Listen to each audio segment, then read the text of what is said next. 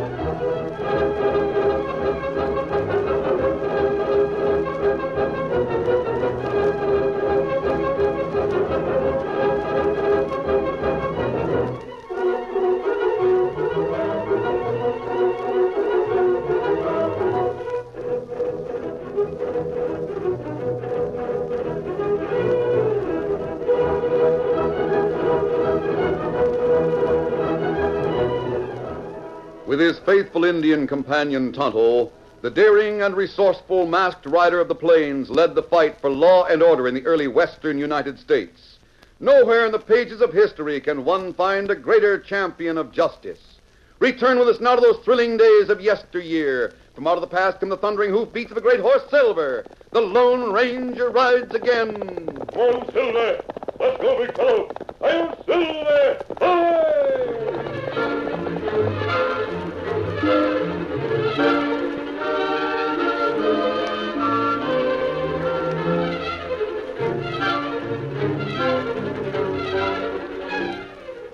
The Lone Ranger and Tonto were camped in a cave at the bottom of a ravine, the floor of which was washed by a narrow, deep stream of water.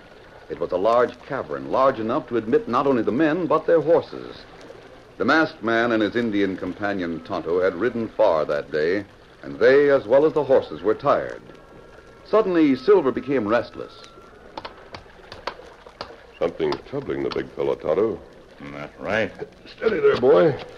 What's the trouble? There now. Quiet down.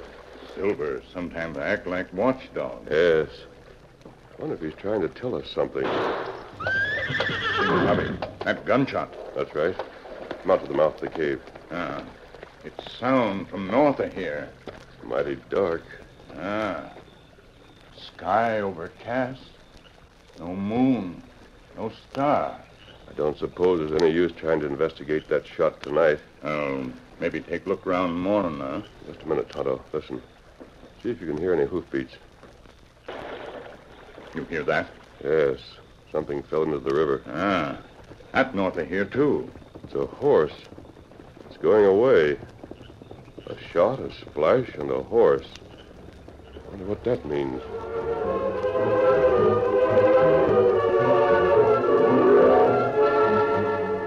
It was the following afternoon when the man called Barton rode into the town of Land's End, about ten miles west of the canyon.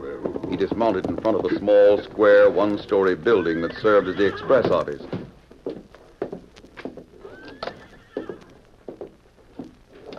Well, I didn't expect to see a lady in charge. Oh, I'm not in charge, sir. Who is? My husband, Jimmy Stevens. He's in the back room right now. I'll call him if you want to see him. Uh, please do. It's very important. Just a moment. Hi, Molly. Uh, Jimmy, there's a man to see you, and he says it's very important. Doggone, I wish I knew who was important. Does he look like one of the company officials? He might be. He's well dressed, and he's a stranger. Maybe he'll be the one that can make this job permanent for me. Oh, wouldn't that be wonderful? Oh, you know, Molly, this job is my big chance. If I can just show Wells Fargo that I can handle Land's End office, They might not send anyone to replace old Abe. Jimmy, you're keeping that man waiting. Uh, doggone, I forgot him. I go right out. It might be better if you talk to him in here. No, no. Not with so much cash on hand. One of the first things I'm going to do if I get any authority here is to get a good iron safe instead of a cash drawer. Well, you'd better go out and see the stranger. Yeah. You wait here, will you, honey? Yes. Good afternoon, sir. Good afternoon. You're in charge here? Well, I am right now. What can I do for you? My name is Barton, Sam Barton. You should have had a letter about me. Golly, Mr. Barton, there might have been a letter. Might have been. Don't you know? Well, you see, the man that had charge of this office died a couple of weeks ago. And I've been in charge since then. Oh, I don't know much about the letters Abe had before he died. I was his assistant, but he never told me much about things. uh, temporary here, is that it? I hope it'll be permanent. Up to you, huh? Up to you to do the job right. That's about it. Well, I'll save you looking up the letter. Here are my credentials. You can see that I'm a special detective sent out here by Wells Fargo to check on things. There's a lot of cash goes through this office. Yes, sir. The whole payroll for that railroad gang goes through here, doesn't it? That's right, sir. Take your time. Look those papers over and satisfy yourself that I'm who I claim to be. I am. I hope you don't take offense. Well, I'd think you were careless if you did otherwise. Your, uh, your name is Stevens, isn't it? Yes, sir. Jim Stevens. Good, I'm glad to know you. Glad to know you, Mr. Barton. Yeah, now won't you sit down? Here's your credentials. Hmm. I reckon they're all right. Well, thank you. Now, I'll get right to the point. Right, sir. I suppose you wonder why I came here. Well, I figured you'd tell me sooner or later. Well, the fact is, we've had information about a robbery that's going to be attempted. A robbery? Yes. Robbery of the railroad payroll from this office by a man named Durkin. Durkin. I never heard of it. Well, he hasn't worked in this part of the country very much. The law caught up with a pal of his, and this pal talked and told what Durkin's plans were. I see. How long do you have the payroll in this office? Well, generally, not more than one night. It comes in on the stage one day and is picked up by the railroad company the next. When is the next payroll due? Well, as a matter of fact, uh, Is uh, is the cash in your office now? well, I. That is, uh, And if that's the case, this crook is likely to make his play for the money tonight. How often does the payroll come out here? every two weeks. Tonight's the night, then. I'll bet my shirt on it. It's a good thing I got here in time. Tonight? Yes. Who's that? Molly. Jimmy! Oh, Jimmy, look out there. There he goes. I see him. who is it? A masked man. He's riding over that way. Oh, Jimmy. Jimmy, what does it mean? I don't know. Where'd you see him, Molly? What was he doing? I was just sitting here. I, I sort of felt as if someone was in the room with me. I turned around and then I saw this man's face. He was at the window. Which window? That one right there. He was standing beside his horse. He could see the cash box? Yes, but of course it was closed. Oh. Oh, Molly, this is Mr. Barton. He's a detective for Wells Fargo. Oh, a detective. Yes. Did you get a look at the man's face? Yes. That is, uh, I saw his mouth and chin. The upper part of his face was masked. Masked? That must Are be... you sure of that man? Oh, yes, sir. I'm sure of it, Mr. Barton. He had a black mask across his eyes. Mr. Barton was telling about a crook named Durkin that plans to steal the payroll. Oh, Jimmy, if you lose that money. I don't aim to lose it. Forewarned is forearmed. That's the idea, Stevens. Forewarned. Just let him make his play. We'll be ready for him. I, I'm trembling like a leaf. The sight of that masked man. I, I was frightened. I can understand that, ma'am. But don't you worry. Don't you worry about a thing. I've come a long way to catch Durkin. And if he tries to rob you, we'll catch him in the act. Molly's father was a grizzled veteran of many an Indian fight in the West. Later that afternoon, he listened attentively while the girl told about the masked man and the plans that Jim and Barton had made. They plan to set a trap to catch this man if he comes tonight. Oh, trap my eye. What's the West coming to? I'm worried about it, Pa. That masked man knows I saw him. He'll figure that there'll be a trap, and it's just as Jimmy says forewarned is forearmed.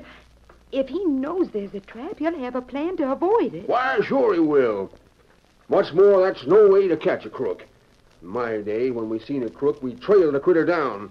We didn't lay back and wait for him to come and stick his neck in a noose. We went out with the noose a swinging and dropped it over his head, and used the same dang busted noose to string him up. Yeah, that's the way to handle crooks. I I didn't tell Jimmy I was going to speak to you about this. It's just as well, daughter. Uh, you say this masked hombre was looking in the window at the office? Yes, Which window? South or north one? south one. Hmm, if I recollect, there's soft dirt there. He likely left tracks. Oh, yes, he must have left tracks. And them tracks will hang him, by Ginger. Wait till I get old Chris. There's a dog that can follow a scent from here to Kingdom Come. Here, Chris. Come in here, boy. Quiet down, now, now, now. Quiet down, Chris. Me and you got a job on our hands. We're going crook hunting.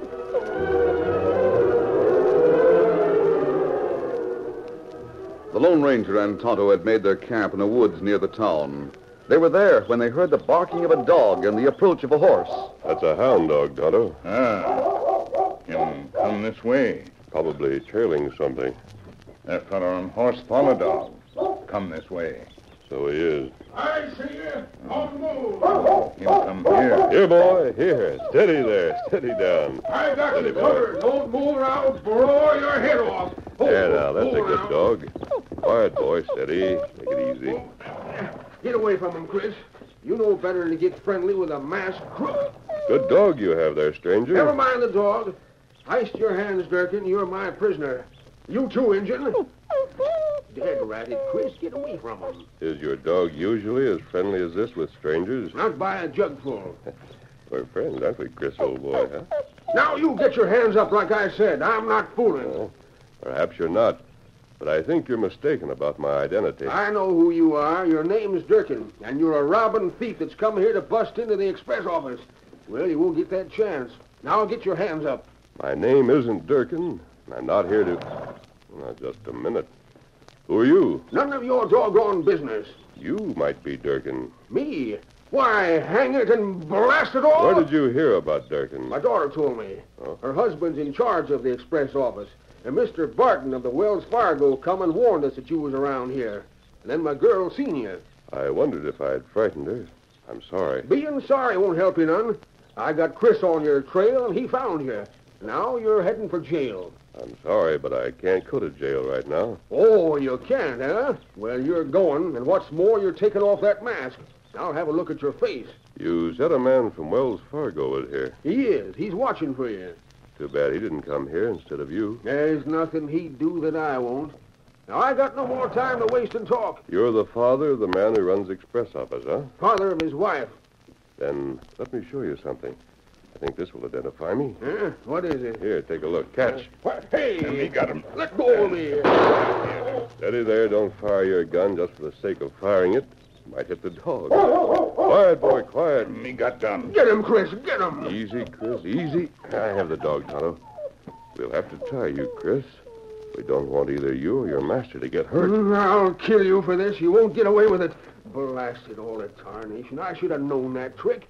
You tossed me something, then jumped me when my eyes were off you. I wanted to show you who I was, that's all. I'll pick up what I tossed at you. Here it is. A bullet. A silver bullet. Won't mean a thing to me. You're a crook. Your name is Durkin. You're aiming to rob the express office. Now, quiet down. Let me tell you what I know about Durkin. I won't listen. Very well, then. Good dog here. Well, go on. Go on. What do you mean? What about Durkin? That's better. You can let go of him now, Tonto. Ah. Just keep his gun so he can't grab it suddenly.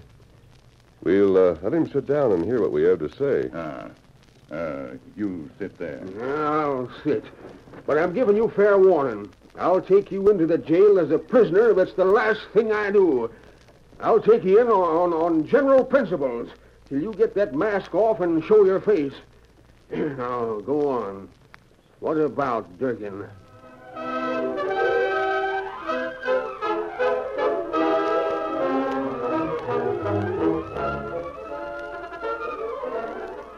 The curtain falls on the first act of our Lone Ranger story. Before the next exciting scenes, please permit us to pause for just a few moments.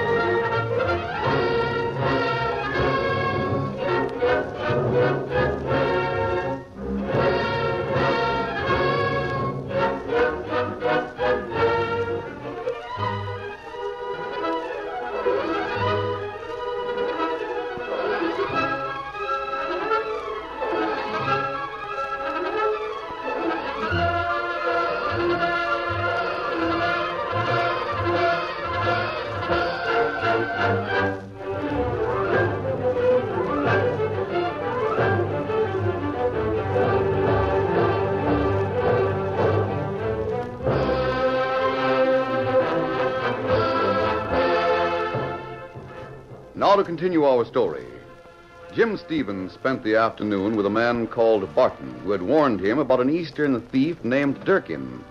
The two had discussed their plans for trapping Durkin when he came to get the railroad payroll. And then the talk turned to other things. What you say is downright interesting, Mr. Barton. It sure must be an exciting life. Traveling all over the country, protecting the Wells Fargo offices. Interesting, perhaps, but sometimes very dangerous. Now, take this man, Durkin. I've never seen the man. Don't have any idea what he looks like. Molly gave us a pretty fair description of him. Yes. I wonder if he'll be afraid to come back tonight. He must know that you're on the job. We'll see. That's the best way. Just wait and see. Don't suppose he'll show up before dark, will he? It's not likely. I... Jimmy? Jimmy, I, I'm scared. Oh, now, Molly, Yes, honey. Lord, Pa. He took Chris and went out to try and track down that masked man. He hasn't come back. Ah, maybe we should report to the sheriff's office, Mr. Barton. Oh, that's Chris. Yeah. Chris? Chris, where's Pa? Molly. Oh, pa? Oh, you're safe, thank goodness. Hey, Paul, you all right? I look to be all right, don't I? Well, where were you? We thought. That is, I was worried. I told Jimmy and Mr. Barton that we. Hmm.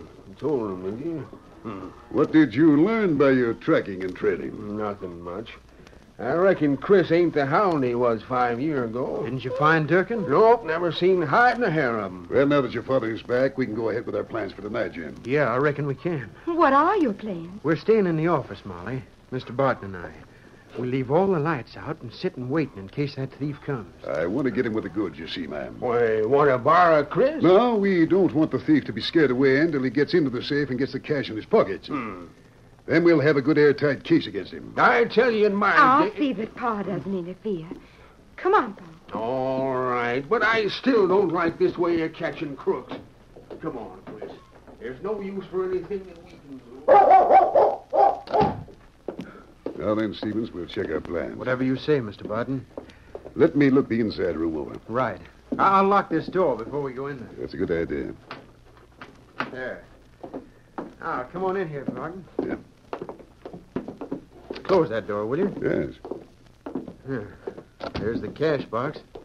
Yeah. Window there. One there. That's likely the way he'll try to get in. The window? Yes. We'll get set before it gets dark. Then we can just wait. Seems to me it'd be smart to let the sheriff in on this. Stevens, when you've been trailing and running down crooks as long as I have, you'll learn that too many people can spoil a trap. The safest thing is to let no one know what our plan is. And there's no chance for a leak, you see. Yeah, it'd mean my job if we lost this payroll. Of course it would. Now, you crouch under that window, and I'll wait under this one, you see. All right. If shooting is needed, let me do it. Now, get to your place, settle yourself in a good position, and keep quiet.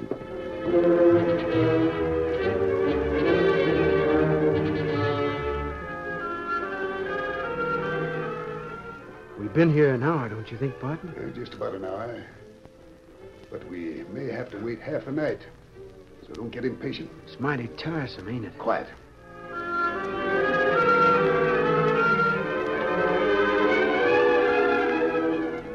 How long is it now, Barton? Don't talk. Can't tell when the crook will be sneaking up.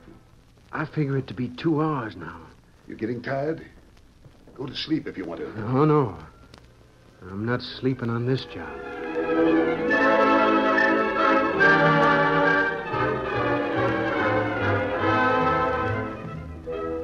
The minutes dragged heavily for Jimmy Stevens. He found his muscles cramped, and several times in the third and fourth hour of silent waiting in the dark, he caught himself dozing. I mustn't sleep on this job. I gotta get that crook. I gotta get him.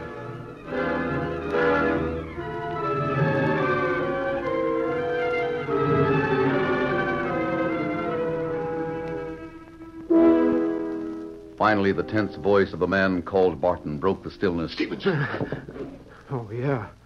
someone's moving around outside. There is? I saw him sneaking up toward the window on this side. It's about time. We're ready for him. Remember what I said? Let him get the cash. Right. I'll follow your lead, boy. Quiet now. He's moving up close. Jimmy saw the black outline of a man's head and shoulders rise against the square of dull night glow at the window. Then he heard the window being opened. Prowler rose above the sill, then dropped to the floor where he could not be seen in the darkness. The faintest scraping sounds told of the thief's movement across the floor. Then a soft creak indicated that the cash box was being opened. Jimmy Stevens tensed every muscle for the leap in the battle as the figure appeared once more at the window. Then Barton cried out. All right, I got you. I'm with you, Barton. No. Hey, he slipped away. Get him. He's gotten out. I'll drill He him. smashed me in the face. I'm half blind. Miss him. Stand aside, Barton. You're blocking me so I can't shoot. I'll get him this time. Let him get away. Stand aside. Let me shoot. Ah, Stevens, he made it. He's gone. Hey, get away. Confound my shooting. Why couldn't I have dropped him? Why didn't I shoot to kill him instead of trying for his legs? Got to get after him. Now, get a light, Jim. Get a light going. We'll see if he did get the cash. Now, just a second. I'll have the lamp going. If you'd have only let me jump him while he was at the cash. Now what'll we do? Now, keep your head, boy. That's the main thing. Yeah, there's the light. And look. He's cleaned out the drawer. Yeah, that's bad. But don't give up hope. I'm a good man at trailing a crook. I'll catch up with him. My job's as good as gone now. Well, that's Molly.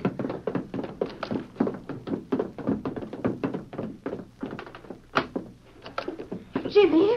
Oh, Jimmy, I heard shooting. Are you all right? Molly, the cash is gone. Durkin got away with it. What, what's that? Got away with it, did he? Yeah. Well, how'd that happen, Barton? Well, Jimmy closed in on him and got smashed in the face. Oh, Jimmy. I fired, but missed him. I'll get started after him right away. I wouldn't be in too much of a hurry. Hey, you, what? That's him. Put your hands up. The masked man. Take it easy. Get the guns from both those men, Tonto. We don't want any more gunplay. Uh, me get gun. You got plenty of nerve coming back here like this. How did the thief get in and out of here? You ought to know that. Right through that window. In that case, there should be footprints beneath the window. Not on that side. It's hard ground. No, Molly. The ground is soft beneath both windows. There was some water spilled there, so the tracks of anyone who went out either window could be seen. What? Say, what's your game? Jim, I told your father my identity. That's right, Jimmy. He told me who he is and who that man is. My name is Barton. You see, Jimmy and Molly, the Lone Ranger. The Lone Ranger? That's right. The Lone Ranger heard a shot last night. Then he heard something splash in the river east of here. This morning he found the trail that Barton's horse had made up to the river, and seen where there'd been a rumpus. Then he found the body of a man that had been shot, washed ashore downstream. Well, the tracks of the horse went from the river to here. Now, hold on, old man.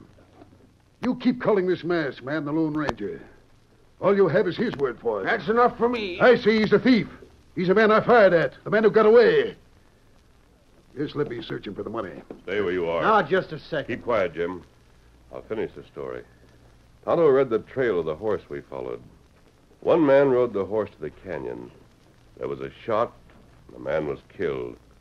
A different man rode the horse away from the river and here to town. As if you could tell that by the trail. Oh, me tell it. that trail told a lot. The man who rode into Land's End is a killer. I didn't know who it was until you told us that a crook named Durkin was on his way here. You, no, you keep quiet. A knife? Look out, Zach. That's it, Tonto. Let that critter see your blade. Maybe that'll keep his mouth shut. Durkin was on the way here, and he knew that Barton was after him. Durkin waited, killed Barton, and stole Barton's horse and credentials. Great day. Why, that'd mean that. Why, you're calling this man Durkin. Right. It's a lie. It's a lie, I tell you. Right fun it is. Your name is Durkin. You came here with a plan to rob this office. That's not true. I, I don't think you're right, mister. I saw the man come in the window. You saw a man rise up against the window. But how could you tell whether he was inside the room or outside? How do you know he wasn't in the room all the time? What? Why, golly, I never thought of that. Anyone that came through that window would have left tracks. Durkin, you took the cash and made believe you struggled with the thief. In the darkness, you stunned Jim temporarily, so he couldn't notice that you fired at nothing at all. It's a lie. It's a lie, I tell you. Pardon if it's a lie. There'll be footprints outside that window. I'll hold the lamp out the window and take a look. Meanwhile, I'll see what Barton or Durkin or whatever his name is has in his pocket. Uh, get away from me. Get back, I tell you. You can't do this. Oh, who can't? What's this? No, no, wait, listen. I... A hat. He had it under his vest. That's the hat he used when he wanted to change his silhouette. That don't prove a thing. You didn't find any money in my pockets? Pa? Pa, what are you doing? Just a second. I'm reaching for something outside of this window. Did you see any footprints out there? Keep an eye on this man, Tonto. Ah. No footprints, but look at this. Look at here. Found this sack beneath the window. It wasn't there when we went down the ground. What's in it? What? Look at this, Jim. This here's your cash. That settles everything. If there's no footprints, it means one of us had to drop the cash from the window. Either you, Barton, or me. And I know it wasn't me. All right, you got me. What are you going to do about it? I'll do plenty, and here's the start. Why, you... That'll do, Jim. If I had a gun, I'd kill him. That's why we took your gun. Durkin is wanted alive, I'll take charge of the snake. He's got a hanging waiting for him. and quite a few rewards are waiting for the capture of him. Jim, I don't think you'll have any trouble proving that his name is Durkin. Then you can collect those rewards. Oh, no, no. Those rewards belong to you. That's right. You're the one that earned them. Molly's father will help you decide what to do with the cash, Jim. Come on, Tonto. Don't need us around here. Ah. Hey, now, wait a minute. Adios, Jim. Good luck to you. Well, Durkin, time we was starting for the calaboose. I'll go with you, Dad. You can come along if you want to. But me and Chris can handle Durkin. So that was the Lone Ranger. Sure enough, Molly. And my dog knew it before I did. When I seen old Chris making up with a stranger, I knew that there was something downright unusual about the situation. The story